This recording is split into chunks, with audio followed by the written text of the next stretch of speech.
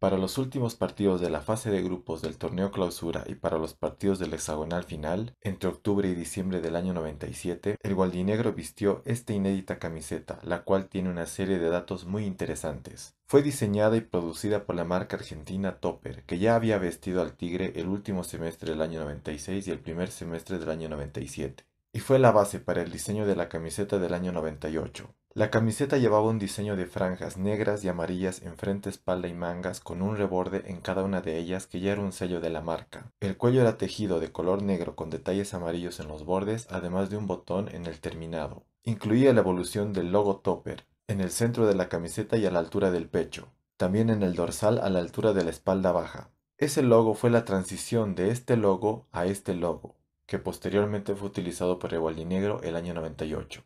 Esta camiseta tenía la tira topper cosida desde las mangas hasta el cuello, en colores blanco y negro, que era parte del template de la marca entre los años 1997 y 1998. Este template de tira topper también lo llevaba en equipos como Independiente de Argentina e Independiente de Santa Fe de Colombia, a los que también la marca vestía. Esta camiseta llegó desde Argentina sin publicidad y sin números, además que no incluía escudo, los logos de Paseña y Kobe fueron elaborados y cosidos a la camiseta por la marca nacional Deportivos Landaeta que ya había vestido al Tigre entre julio y septiembre de ese año.